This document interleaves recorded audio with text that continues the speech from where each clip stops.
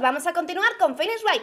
En el capítulo anterior estábamos salvando el cuello a nuestro querido caballero de las ensaimadas y Godot está de los nervios. Ahora mismo están hablando sobre, lo- sobre de las huellas, ya que el timbre para llamar a los de emergencia, o sea, los de emergencia no, a los de seguridad, no tenía marcas, o sea, no tenía huellas. Ron, Ron de Light las borró, está claro. ¿Y por qué las iba a borrar? Si en teoría también estaba inconsciente. ¿Por qué? En cualquier momento podía entrar un vigilante. Él tocó ese botón. Sé que lo hizo.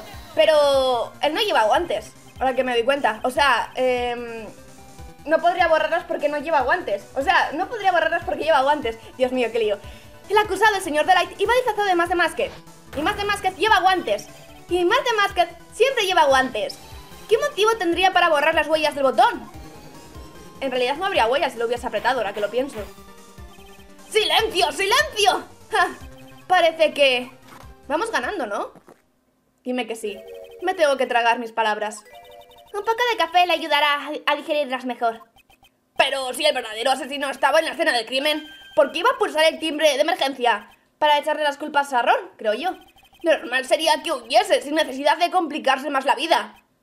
Pues sí, creo que eso ha sido lo más inteligente que ha dicho este juez. ¿Y, está- en silencio? ¿Ha pasado un ángel? ¿No tiene más trucos en la chistera? Todos van contra ti, Nick. Dame un minuto para pensar. El verdadero culpable asesinó al señor Bullard sobre la una.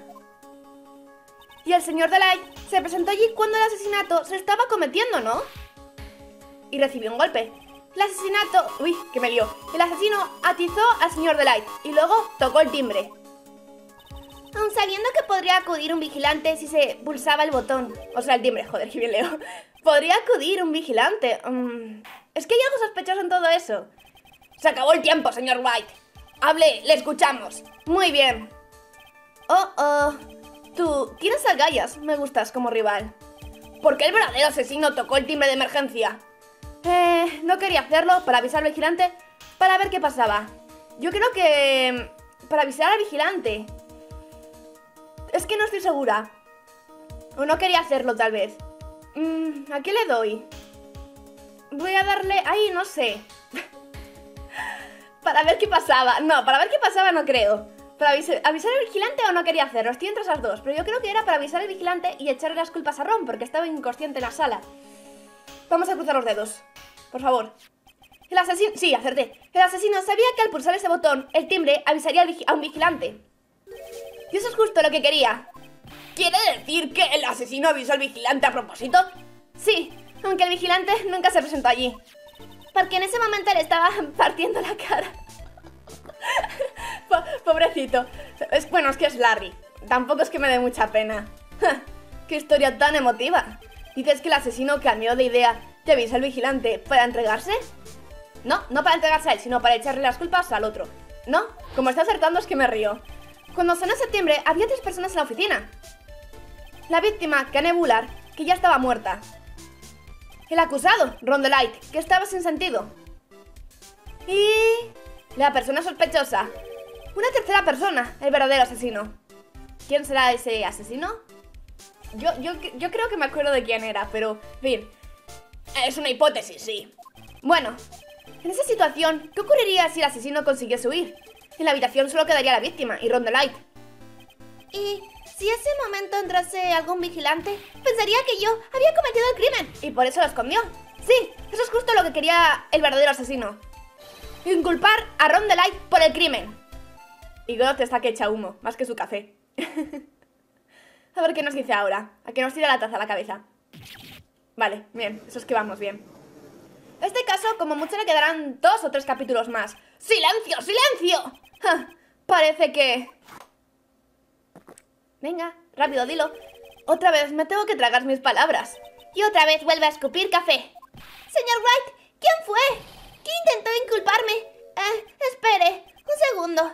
Soy el único e inigualable más de Másquez, así que... Nick, ¿insinúas que el verdadero asesino es...? Vamos a, a traer aquí a esa persona ahora mismo. Pero, pero, ¿quién es? Todavía no tengo una prueba definitiva, pero piénsalo. El asesino conocía la identidad del señor Delight y también sabía que esa noche iba a estar en seguridad KB. Así que el asesino lo utilizó para llevar a cabo un plan para asesinar a Kane Bullard. Uh, ahora me estoy dando cuenta de una cosa. Muy bien, escuchemos su acusación, señor White. ¿Quién intentó inculpar al señor, Roy, al señor Ron Light por asesinato de Canebular? Aunque no os lo creáis, es este. Allá vamos. Por favor, por favor, por favor. Sí, el detective Lucas May. Es, es la única persona que puede haberlo hecho. ¿El detective de primera? ¿Lucas May? ¿Quiere decir que lo hizo más de Másquez? Más de Másquez inculpado, más de Másquez. Su señoría, la persona que están juzgando en la sala de al lado no es más de Másquez.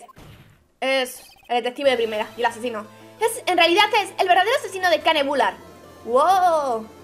Y la razón de por qué dice que es más de Másquez es por la misma razón que Ron decía lo de la urna.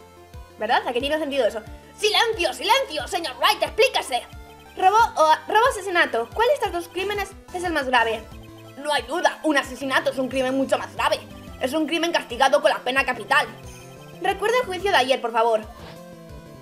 Que él incluso dijo que era el ladrón. Cuando Luke May confesó, se produjo un gran tumulto en la sala. Lógicamente, se descubrió que un famoso detective era en realidad más de Másquez. En lugar de ser acosado de asesinato, lo declararon culpable de hurto mayor. Y eso era lo que él pretendía. ¿Si lo declaraban culpable? Más de Másquez tenía la, la coartada perfecta para no haber cometido el asesinato. Haber robado la urna. En ese momento, estaba robando la urna en Lord Taylor. Y además pone que es casi la una ahí. En otras palabras, si la declaraban, si lo declaraban, ay que me pierdo, si lo declaraban culpable como más de Másquez, Lucas May tendría una coartada irre... que bien hablo, por Dios, o sea, que bien leo, irrefutable a prueba de bomba. ¿Un, un, un veredicto de culpabilidad? ¿Una coartada? Pues nada. ¿A qué hora esto empieza a coger más forma? Aunque aún está la duda de cómo... O sea, ¿qué sucedió ahí? ¿Cómo este... Lucas May llegó ahí? Bueno, ya es casi la hora. ¿De qué? Del veredicto de Luke Fue un, fue un juicio... ay, que me pierdo. Fue un juicio bastante sencillo. Si tenemos que detener a este juicio y el de Asmey, hay que hacerlo ahora. Siempre que tengas una prueba de que fue el detective el que cometió el asesinato. ¿Tenemos alguna prueba? No estoy segura. El juicio de Luke ha atraído la atención de todo el país. Si lo interrumpimos y no conseguimos demostrar su verdadero, su verdadero crimen, el señor Delight se quedaría sin fundamentos de apelación. ¿Estoy totalmente seguro de esto? ¡Ja! Una apuesta solo es buena cuando te juegas la vida en ella. Señor White, yo, yo creo en usted. Ay, por favor, no me digas eso. Señor Delight. Así que, por favor, se la ruego. Una prueba. Gracias, pero esta decisión puede cambiar su vida para siempre. Voy a tener que arriesgar su vida de esta forma. Fonis. Maya. Digo, oye, Maya no está. Mía. ¿Qué, qué ha sido eso? No te desvíes, Fonis. Sigue el camino de la confianza. Hazlo por tu cliente. Podemos salvarle. Yo creo que sí, tenemos alguna prueba seguramente. Esa voz parece la de... ¡Mía! Su señoría, la defensa solicitará una pausa de inmediato. ¡Ja! Esa es tu respuesta, ¿eh? Pues nada, vamos allá. De acuerdo, he tomado una decisión. Este tribunal hará un descanso de 20 minutos, señor Wright. Cuando volvamos, Llame a declarar al, señor Lucasme. Sí, su, señoría. Pues nada, crucemos los dedos y esperemos que esto salga bien. Pero este juicio ya le queda muy, muy poco. Oh, no, Pine. Qué asco le tengo a ese tipo. ¿Y bien, detective Asmey? Bueno, esto sí lo ha sido. Tengo que admitir que lo ha hecho usted estupendamente, señor Pine. Oh, no, detective Asmey. Usted sí que... Por favor, paren ya los dos. Ya es suficiente. Este tribunal no va, no va, no, ay, que me pierdo. No ve razón alguna para prolongar este juicio. Este tribunal encuentra al acusado Luke Adley culpable. Ay, ay, menos mal, Fonis. ¡Espere! No emite todavía su veredicto, por favor. Oh, Dios, eso se va a poner muy feo. Bien, bien, bienvenido a mi juicio, señor abogado. ¿Quién es este zoquete? Mi nombre es Phoenix White, abogado. Y quiero realizar una acusación contra este hombre, Luke Asmey. ¿Una acusación? ¿Acusa a más de Másquez? Este hombre no es más de Másquez. Es un asesino sin escrúpulos. ¿Qué? Sí, así todo el mundo se queda ahora. ah, la tenemos pillado. Solo hay que ver que le suda hasta la nariz. Creo que era sudor. Sudor o lo otro. Bien. Vamos a guardar partida. Y, uff, ahora estamos en un momento muy... muy crítico. Estamos, eh, o sea, eh, como mucho le quedarán dos capítulos así a este caso y pasaríamos al siguiente. ¿Mi hermanita? Juraría que he escuchado la voz de Mía. Entonces sigue viva, en tu corazón. ¡Pequeño Nicky! ¡Oh, señora Delight! ¿Es cierto que ese detective es el verdadero asesino? Si le soy sincero, no tenemos ninguna prueba de ello. Pero es el único que pudo haberlo hecho. Pero esa noche estaba en los de Taylor, ¿no? Además, tampoco conocemos su móvil. ¿Por qué iba el, detective Asmey querer asesinar a Canebula? Ay, ya es casi la hora. Volvamos a la sala. Tengo que encontrar una prueba confundente. Y antes o después tiene que aparecer. Una prueba, pero ¿qué prueba? No tenemos ninguna prueba, Dios mío, estamos perdidos, perdidos, perdidos. No, tiene que haber algo. Seguramente algo que he pasado por alto. Eso sí, una prueba de que se pelearon está lo de que el pin suyo fue arrancado. Se, se renauda la sesión. Señor Lucasme, suba al estrado. Ay, pues vamos allá. Esto no, parece no acabarse, ¿verdad? Vaya, vaya. ¿Cómo le va, señor abogado? Me vas a odiar, ¿verdad? No la creía capaz de algo tan temerario. No podía permitir que se emitiese su veredicto tan pronto, porque se le habría supuesto una coartada perfecta. Una coartada llamada Más de Masked. Y tú no eres Más de Masked, impostor. Lo siento, ni siquiera el gran Lucas me entiende lo que está diciendo. Claro que llevo, llevo en la sala de, de al lado desde las 10 de, esta mañana, así que es lógico que no tenga ni idea de lo que está pasando aquí. No te hagas el tonto. Lleva todo el día en, el banquillo de los acusados, ¿verdad? siendo juzgado como Más de Masked. Así es. Engañar al populacho ignorante fue un juego de niños. No solo me pidieron que vigilase sus valiosas propiedades, incluso me pegaron una... Ay, me pegaron, no me pagaron. Una generosa recompensa por devolvérselas. Por ejemplo, fíjese en el diamante rojo del amarillo que luzco en el dedo. Así que sigue empeñado en afirmar que usted es más de Másquez. Eso parece. Por supuesto. Ay, qué asco me das. Tú. Muy bien, Luke Comenzaremos haciéndole una simple pregunta. El 12 de octubre a la 1, Canewula fue asesinado. ¿Dónde estaba usted entonces? Los ignorantes lo son tanto que ni siquiera se avergüenzan de serlo. Pero no se lo tendré en cuenta por ser usted, señor juez. Eh, gracias. Ay, por Dios, God lo va a disfrutar ahora mucho y...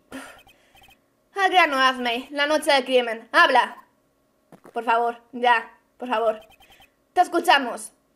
Como guste, señor fiscal.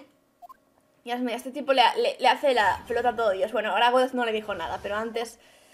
Yo, más de más que estaba robando mi urna, tal y como anuncié que haría. ¿Y por qué robar la urna si no tiene mucho, mucho valor? Tuve tiempo de sobra para preparar el robo. Fue patéticamente fácil. Las fotografías no pueden hablar, pero en este caso, una de ellas resultó ser mi testigo. El momento en el que la cámara fotografió a Martin Másquez fue justo a la hora del asesinato.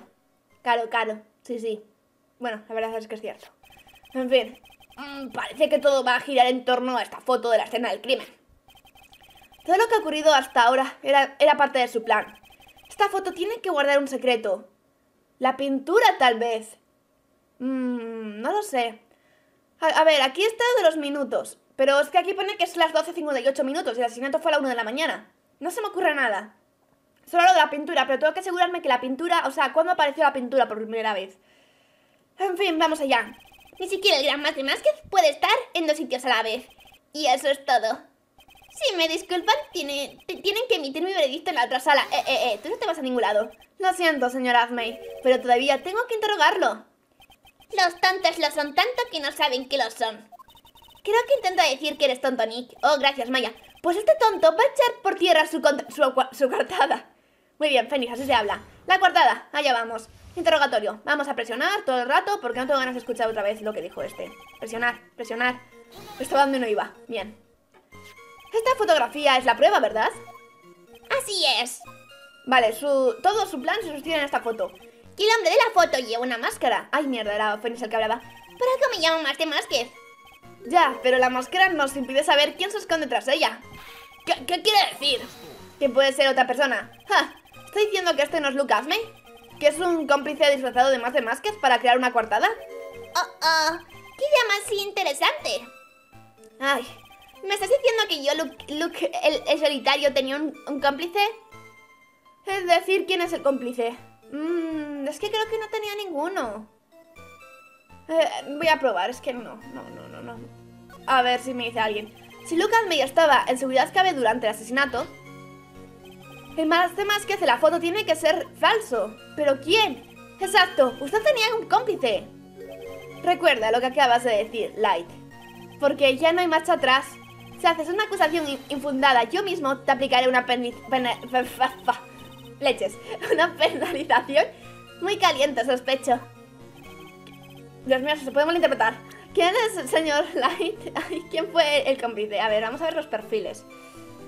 ¿Quién pudo ser el cómplice? No hay nadie que pudiera haber sido el cómplice. Nadie, nadie, nadie. Pues no hay nadie. O a no ser... No, no puede haber nadie. A no ser que fuera realmente Ron, pero Ron no estaba ahí. Pero tiene que haber alguien más. ¿Pero quién pudo ser? No sé qué me da que he metido la pata y no podíamos haber hecho esto, o tal vez no, no habríamos podido haberlo hecho. Bueno, a las que nos penalicen. No, no quiero ver lo que va a pasar. Voy a saltarme todo esto y hago un corte muy bonito y ya. Y bueno, nos quitaron un poco de esto, pero no pasa nada. Vamos a darle a presionar a esta y espero esta vez no meter la pata. Creo que Adrian, Andrews lo contrató, ¿verdad? Así es, hace unos 20 días, si no me equivoco. Y usted envió su tarjeta de visita a Lord Taylor, 10 días antes del robo. Es decir, que cuando envió la tarjeta, usted ya se encargaba de la, seguridad, ¿no? En efecto, nada me impedía hacer ambas cosas a la vez. Era la oportunidad perfecta para robar mi último objetivo. Ya veo, Usted es la maldad en persona, ¿eh? Sí, usted lo ha dicho. Ok, oye, ok, por Dios. Oye, Nick, ¿no has notado algo un poco raro? Mmm... Hazme siempre presumía de sus habilidades como detective de primera, ¿no? Pero si robaron la urna en Lord Taylor y solo él la estaba vigilando, su reputación de detective de primera se vendría abajo. Pues sí, es cierto. Es un poco raro.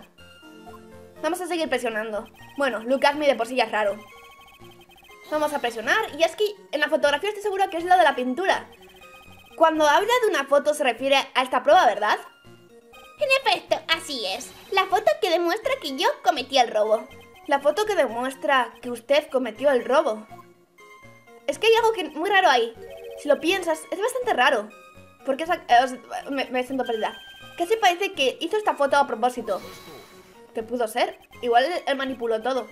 Simplemente fue retratada porque la cámara que había colocado en la escena. Pero es que, ¿por qué? Porque es que no lo entiendo. Inculparte a ti mismo, si no hay otra razón de más. No sé si me explico. Podría pasarle a cualquiera. Así es. Al final resulta que el crimen perfecto no existe. La vida es pura ironía. Una melodía tristona. Ah, podías haber incluso quitado esa foto. Creo que necesito conseguir más información. Si es, si es el asesino de verdad, tiene que haber algo falso en esa foto. Vamos a seguir presionando. Vale, el momento de la cámara, bla, bla. Es que lo de, la, lo de la foto es bien raro.